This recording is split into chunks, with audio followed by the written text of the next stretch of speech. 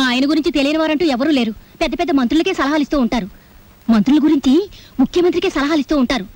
ఇంతకు ముందు నీ ఎస్ఐని ట్రాన్స్ఫర్ చేయించింది ఈయనే అలాంటి ఆయన వారం రోజుల నుంచి పేరేంటమ్మా? బాగుంది. రామాయణం అంతా విని రాముడికి సీత ఏమవుతుంది అన్నాడట. ఆయన పేరు విష్ణుమూర్తి. రాస్కా ఏయ్, ఏందా లొల్లి? ఇది పోలీస్ స్టేషనా రైల్వే స్టేషనా? ఏమయ్యా జర సిగరెట్ ఏమైందమ్మా? మా ఆయన వారం రోజుల నుంచి కనపట్టం లేదండి. ఇదిగో ఫోటో. పోనీ తీరాదు నాలుగు దినాలు మంచిగా గాలి తిని వస్తాడు. చూడనీకైతే దేశముదురు లెక్క గుర్తుండు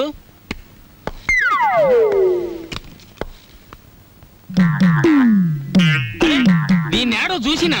టీవీలో కూడా ఫోటో ఇచ్చాను. ఏ, నే టీవీలో చూడలే. ఆ వీన్ని కలిసినా? ఎక్కడున్నారో చెప్పండి. నేనే ఆయన భార్యని. ఏంది? నగరాలు చేస్తున్నావా? తేరి. ఈయన్ని చూసినా ఈయన పెండ్లాన్ని చూసినా పాపం ఆమె నాకు హాఫ్ బాటిల్ వైన్ కూడా ఇచ్చింది. ఎంత పోలీసు అయితే మాత్రం గప్పుడే మరుస్తానా అని? లేదు సార్ అది అబద్ధం. ఏంది? వాళ్ళ ఫ్యామిలీలో పుల్ల నీకు చూస్తున్నావా? పొక్కలో పడేస్తా. అరే ఎడ్డు జర హుషారుగా ఉండాలి. డేంజరస్ ఆడదాని లెక్క ఉన్నది. లేదండి నేను చెప్పేది నిజం. మీకు దండం పెడతాను. ఆయన అడ్రస్ ఇవ్వండి. మంచిది ఇస్తా. కానీ ఏదన్నా గడబడ గిట్ట అయిందో ఇద్దరిని బొక్కలిసి పొక్కలో పడేస్తా. హలో చూడండి ఎంత ఖర్చైనా పర్వాలేదు. నేను చూసుకుంటాను. ప్లీజ్ ఈ విషయంలో మీరు చాలా ఇంట్రెస్ట్ తీసుకోవాలి. నేను చెప్పానుగా ఈ సంగతి ముఖ్యంగా అతనికి తెలియకూడదు. ఓకే? ఎవరికి ఫోను? నీకెందుకు? నువ్వు ఇక్కడున్న విషయం ఎవరికి తెలియకూడదు నీకు తెలుసుగా? పోనీ విష్ణు అలాగే ఇక్కడ లేడు. నువ్వు ఇక్కడి వెళ్ళిపో. మరి నీ చెల్లి ఆపరేషన్? నీకు నా వల్ల డబ్బు రావాలి. గుర్తుంచుకో.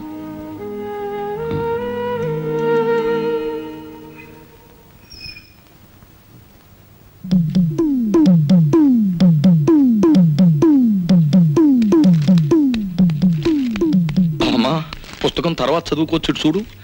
ఒక డేంజరస్ లేడీ క్యారెక్టర్ ఇప్పుడే రిక్షా దిగింది. ఆ మ్యాటర్ చూడు. ఎవరావిడ? బోల్? ఓ మహాపతివ్రత గొప్ప శీలవతి రోజుకు రెండు సార్లు మొగుడు కాల్చూ తింటుంది. నీకే అవుతుంది సిగ్గు విడిచి చెప్పుకోవాలంటే పెళ్ళాం. నువ్వు ఆ మ్యాటర్ సరిగ్గా డీల్ చేయకపోతే కొంప కొల్లేరైపోతుంది చూడు. ఎవరు ఇంట్లో? ఎవతివే నువ్వు? ఎన్ని గుండెలే నీకు? నా మొగుడిని వల్ల వేసుకుని నా సంసారాల్లో నిప్పుడు పోస్తావా? నీ జిమ్మడిపోను అసలు నువ్వెవరు? నీ మొగుడెవరు? ఇక్కడికి వచ్చావు? బోల్. మా ఆయనే తెలియదా నీకు? వాయువేకుల విష్ణుమూర్తి అంటే ఈ పరగణ అంతా తెలుసు. ఆయనకి తెలియని వృత్తి లేదు. ఆయన వెళ్ళని ఆఫీసు లేదు. ఆయన పెట్టని సంతకం లేదు. మినిస్టర్లంతా ఆయనతో ఫోటోలు దిగేవారు. తెలుసా?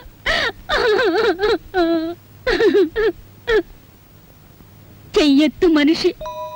చక్కటి బొద్దింక మీసాలు. నున్నటి క్రాఫు. ఏమిటి? ఆయనలాగే ఉన్నారు? ఆయనే? ఏమండి? అమ్మా! నామతి మండ దేన్ని చూసినా ఆయనలాగే కనపడుతుంది. కాదు నీలాంటి వాళ్ళకి కళ్ళు బయర్లు కమ్మి కనపడ్డా కనపడినట్టే ఉంటుంది. ఏమిటే? కవిత్వం మాట్లాడుతున్నావు. ఆయన వయసు ఏంటి నీ వయసు ఏంటి ఆయనతో నీకేమిటే సంబంధం? సిగ్గులేందానా? ఎందుకు సిగ్గు? నేను ఆయన కూతుర్ని ఆయన నాకు బాబాయ్. బాబాయా? మరి చెప్పలేదే ఇందాకటి నుంచి? నువ్వు చెప్పనిస్తేగా? అసలు ఆయన మీద నీకు ఏం హక్కు ఉందనొచ్చావు ఆయన నీ దగ్గర ఉన్నప్పుడు ఆయనకి మనశ్శాంతి లేకుండా చేశావు. ఆయన మీరంతా కాకుల్లా పొడుచూ తిన్నారు ఇప్పుడు శోకండాలు పెట్టి లాభం లేదు. అతను కాబట్టి ఇంకా సిగ్గు లేకుండా బుద్ధి లేకుండా బతుకున్నాడు. ఇంకొకరైతే ఏ రైలు కిందో గోదాట్లోనో వాడు చచ్చేవాడు. అయ్యయ్యో! అంత మాట అనకమ్మా. ఆయన ఎక్కడున్నా వెయ్యేళ్ళు చల్లగా ఉండాలి. నా మంగళసూత్రం కలకాలం నిలవాలి. ఇలా మంగళసూత్రం కళ్ళకద్దుకుని నల్లపూసలు మింగేస్తే భర్తలు చల్లగా ఉండరు. వాళ్ళని లాలించాలి ప్రేమించాలి. పెళ్ళైన దానికి కాపురం గురించి పెళ్ళి కానిది చెప్పాల్సి వచ్చినందుకు సిగ్గుపడుతున్నాను. పొరపాటు అయిపోయింది. అసలు నాకేం అక్కర్లేదు. ఆయన ఇంటికి వస్తే చాలు. చూడమ్మా నేనన్న మాటలు నువ్వేం మనసులో పెట్టుకోకు. ఆయన వస్తే నా మనసులో మాట ఇది అని చెప్పు. ఆయన తప్పకుండా ఇంటికి రమ్మని చెప్పమ్మా. వస్తాను. ఓహో మ్యాటర్ బ్రహ్మాండంగా డీల్ చేసావు థ్యాంక్స్. ఇక మా కొంప కొల్లేరు కాదు నల్లేరు మీద నడక. What is this nonsense ఇక్కడ నుంచి జాగ్రత్తగా నడుచుకోండి. ఇది అర్థం కాని matter. Wow I got it I got it ఎక్కువగా అరవకు. బయట విన్నవాళ్ళు పిచ్చి పట్టింది అనుకుంటారు. ఎవరేమనుకున్నా సరే ఇంతకంటే గట్టిగా అరుస్తాను. విష్ణుమూర్తి! ఇలాంటి టైంలోనూ ఉండవు. అసలు విషయం ఏమిటి? బోల్? మెడ్రాస్ ఫర్టిలైజర్స్ ఫ్యాక్టరీలో మా ఫ్రెండ్ పార్థసారథి ఉద్యోగం ఇప్పించాడు. నెలకు జీతం ఎంతో తెలుసా? నాలుగు వేల రూపాయలు. రేపే మెడ్రాస్ వెళ్ళాలి. వెంటనే ఉద్యోగంలో జాయిన్ అయ్యి ఆ ఉద్యోగాన్ని అడ్డం పెట్టుకుని వాడిని ఎక్కడైనా లోన్ ఇప్పించమంటాను. ఆ లోన్తో నా చెల్లెలకు ఆపరేషన్ చేయించాలి. అబ్బా నీ గొడవ వదిలింది. మరి నేను? ఇంకా నిన్ను డబ్బు కోసం అడ్డం పెట్టుకోవాల్సిన అవసరం నాకు లేదు. నన్నేం చేయమంటావు? ఐ డోంట్ నో నన్ను ఇక్కడికి ఎందుకు తీసుకొచ్చావు? ఆస్ కృష్ణమూర్తి ఎవరిని అడగడానికా నేను నీ దగ్గర ఉన్నది? కేవలం డబ్బు కోసమే నన్ను ఇక్కడ తీసుకొచ్చింది? నేను వెళ్ళాలంటే మీరు నన్ను ఆపగలరా? నేను కావాలనే ఇక్కడున్నాను. ఉంటే ఉన్నావులే. ఇప్పుడు వెళ్ళిపో. కావాలంటే మీ నాన్న దగ్గర సారీ చెప్పుకుంటాను. ఇదిగో నేను అసలే తిక్కదాన్ని. తిక్క రేగిందంటే మంచిదాన్ని కూడా కాదు. నేను ఇక్కడ ఎందుకున్నాను నీతో ఎందుకు చనువుగా ఉన్నాను? మనం కలిసి మాట్లాడిన మాటలకు అర్థం ఏమిటో నాకే కాదు. నీకు తెలుసు. నాకు తెలియదు. నీకు తెలిస్తే చెప్పు. నీకు తెలుసు. నీ నోటితోనే చెప్పాలి. లేదా ఈ క్షణమే నీ కళ్ళ ముందు చస్తాను. ఒకరి నిర్ణయం ఆపడానికి నేనెవరిని? నేను చస్తానంటే కూడా నీకు బాధగా లేదా? నువ్వు చావని నాకు తెలుసుగా? నువ్వు ప్రేమించిన నేను బతికే ఉన్నానుగా? నువ్వు నన్ను ప్రేమించలేదుగా? అని నువ్వు నన్ను అడగలేదుగా? నువ్వు అడగకుండా నేను అడిగితే అసలే తెక్కదానివే. నన్ను కొట్టేస్తే? బో.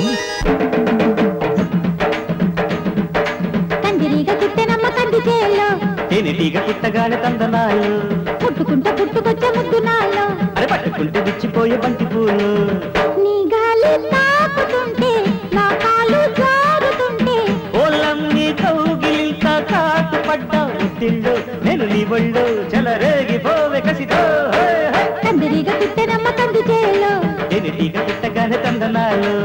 పుట్టుకుంట గుట్టుకు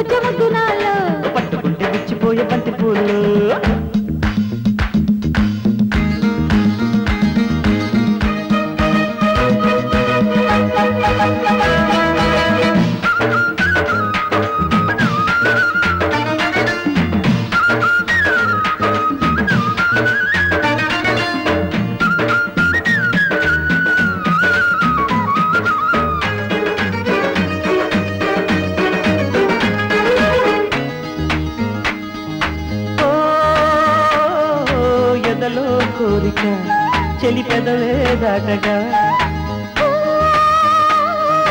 కనలా కాటుక తొలి తొలిగా అంటగా చెమ్మగిల్లిపోయింది కన్నెబుగ్గ సొమ్మసిల్లిపోయింది సొకుమొగ్గ చెయ్యి దాటిపోయింది చెమ్మ చెక్క గుట్టు బయట పెట్టింది గుమ్మలక్క.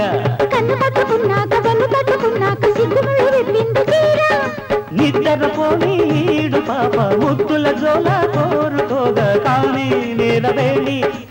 గోడి సాటుగా. కందిరీగ పుట్టనమ్మ కంది చేలో. తేనెటీగ పుట్టగానే నందనాలు ముట్టుకుంటే పుట్టుకొచ్చే ముద్దు నాలో. పట్టుకుంటే విచ్చిపోయే బంతి పూలు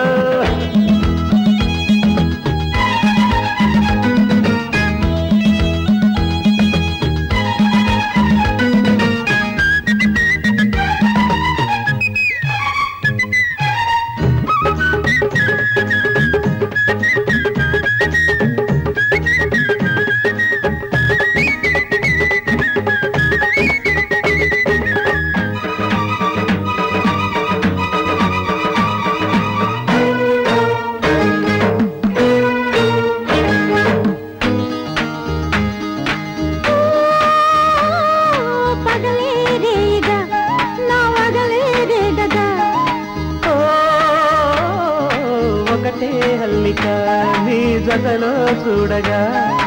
ఒత్తిగిల్లిపోయాను లోపలేక సన్నగిల్లిపోయాను గుండెదాకా. చెప్పరాని మోహాన తెప్పరిల్లిపోయాక తప్పు కాదులే ఒప్పుకోవే. వెల్లువంత పొంగుల్ల దాచలేక ఏటి మీద రాశాను ప్రేమ లేఖ కోనసీమ తోటల్లో కొబ్బరాకు నీడల్లో మంచి కాడికే చేరుకోవే. గోరింటాకు సందెవేళ పేరంటాలే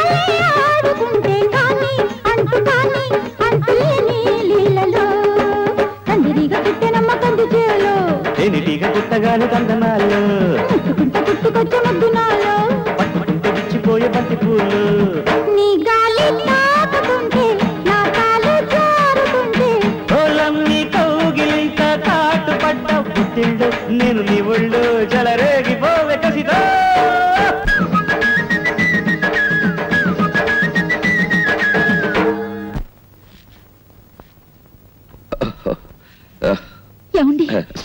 పదండి వద్దు వద్దు అలాగే. మ్యాటర్ అర్థమైంది. చాలు. వచ్చావురా నాయనా? ఎన్నాళ్ళైందిరా నిన్ను చూసి? ఆగు మావయ్య. కూర్చోండి మావయ్య. బాబు మజ్జిగ తేనా ఉండండి అత్తయ్య. ఏకంగా భోజనం వడ్డించేస్తా ముందు కాఫీ ఆగండి. ఇప్పుడు నేను అయ్యో చెప్పేది కాస్త ఉండండి. ప్రియమైన నా కుటుంబ సభ్యులారా అప్పుడు ఆ అనావృష్టి ఇప్పుడు ఈ అతివృష్టి. రెండూ మంచివి కావు. మధ్య తరగతి మనిషి ఎత్తుకి పల్లానికి మధ్య ఎదిగి ఎదగని మనిషి. పైనుంచి చూసేవాడికి కింద కనిపిస్తాడు పల్ల నుంచి చూసేవాడికి పైన కనిపిస్తాడు.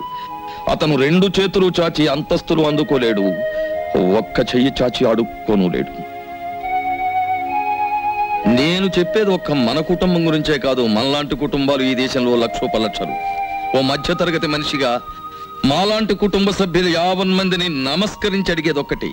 ఇంటి యజమాని ఇంటికి చేరుకోగానే అతను నాలుగు ముద్దలు తిని కడుపు చల్లార్చుకునే వరకు సమస్యలతో వేధించకండి. ప్రశాంతంగా ఉండనివ్వండి. సమస్యల్ని ఎదుర్కొని పరిష్కరించే మనోధైర్యాన్ని అతనికి ఇవ్వండి. సమస్యలతో మాత్రం భయపెట్టే కరెక్ట్ బాబాయ్. రేపు ఆపరేషన్ జరిగిపోతుంది. వారం రోజుల్లో మా చెల్లెమ్మకు నయం కూడా అయిపోతుంది. అప్పుడు ఎంచక్క మనం అందరం హాయిగా ఉంటాం. ఏమా నువ్వేమంటావు చెప్పు. అవును నా ఆపరేషన్ అయ్యే డబ్బు గురించి మీరు ఎటువంటి తప్పు చేయలేదు కదూ? చెప్పండి.